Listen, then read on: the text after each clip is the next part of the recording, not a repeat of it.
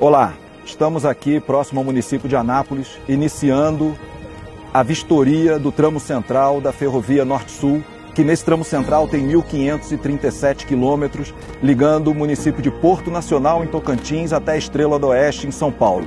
Estamos iniciando essa jornada para fazer a vistoria das obras que no ano que vem estarão prontas e entregue à sociedade. Essa aqui atrás de mim é a passagem inferior, onde a rodovia cruza com a GO 156. Nós estamos no quilômetro 437 da Ferrovia Norte-Sul, próximo à cidade de São Simão, fica mais ou menos a uma hora daqui, no quilômetro 500. Estamos vendo aqui a última fase da construção de uma ferrovia.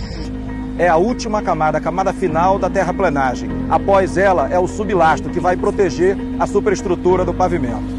Esse trecho está quase pronto, faltando muito pouco para a gente fazer a entrega dessa obra. Estamos aqui exatamente no ponto onde ela se une à Rumo Malha Paulista, que é o marco zero dessa grande ferrovia, desse grande eixo central.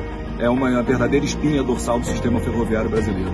Ao longo desse, dessa semana aqui, percorrendo o trecho, a gente pôde verificar que dos 7% que foram repassados à concessionária para a conclusão desse empreendimento, boa parte dele já está pronto. A gente vai dividir as entregas em três etapas. A primeira etapa já agora em dezembro desse ano, e aí já vai começar a ser operada comercialmente, gerando receita, e a partir daí uma segunda entrega em março de 2021 e a entrega definitiva em julho, concluindo essa importante obra, esse importante eixo.